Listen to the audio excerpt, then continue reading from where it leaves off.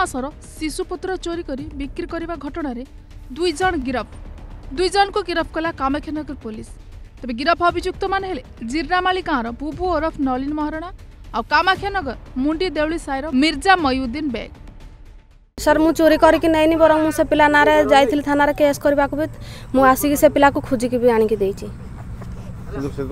କହୁଛନ୍ତି ସେ ପିଲାଟା ଶିଖାଇଛି ସେ ଝିଅଟାକୁ ବୋଲି ସେ ମୋତେ କହୁଛି ଯେ ମୁଁ ନେଇଛି ବୋଲି ଛୁଆଟାକୁ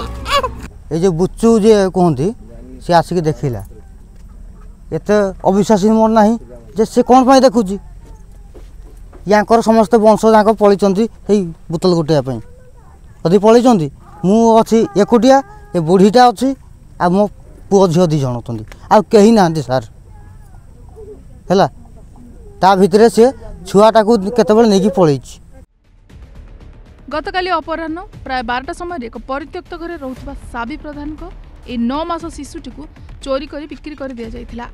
ନିକଟରେ ରହୁଥିବା ପଡ଼ୋଶୀ ଏହି ଶିଶୁକୁ ଚୋରି କରି ବିକ୍ରି କରିଦେଇଥିବା ଅଭିଯୋଗ ହୋଇଥିଲା ତେବେ ଅଭିଯୋଗକୁ ଭିତ୍ତି କରି କାମାକ୍ଷାନଗର ପୋଲିସ ଅଭିଯୁକ୍ତମାନଙ୍କୁ ଠାବ କରିବା ସହିତ ଶିଶୁ ପୁତ୍ରକୁ ଉଦ୍ଧାର କରିଥିଲେ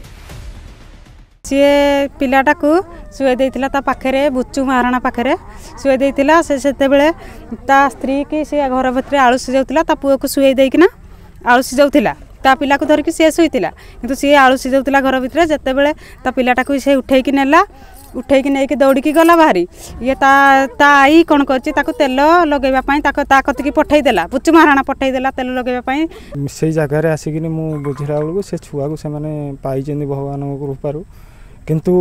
ଏଇ ଯେଉଁ ଛୁଆ ଚୋରି କେସ୍ରେ ଯେଉଁମାନେ ସବୁ ଇନଭଲ୍ଭ ଅଛନ୍ତି ସେମାନଙ୍କୁ ସରକାର ମାନେ ଗୋଟେ ଦଣ୍ଡନୀୟ ଦଣ୍ଡ ଦେବା ଦରକାର ଆଉ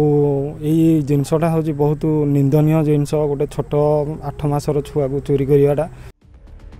ତେବେ ଶିଶୁ ପୁତ୍ରକୁ ଚୋରି କରି ବିକ୍ରି କରିବା ଘଟଣା ନେଇ ସମଗ୍ର କାମାକ୍ଷାନଗର ଅଞ୍ଚଳରେ ଚର୍ଚ୍ଚାର ବିଷୟ ପାଲଟିଛି ଏନେଇ କାମାକ୍ଷାନଗର ପୋଲିସ ଅଧିକ ତଦନ୍ତ ଜାରି ରଖିଛି କାମାକ୍ଷାନଗର ହରେକୃଷ୍ଣଙ୍କ ରିପୋର୍ଟ ଓଡ଼ିଶା ସମ୍ବାଦ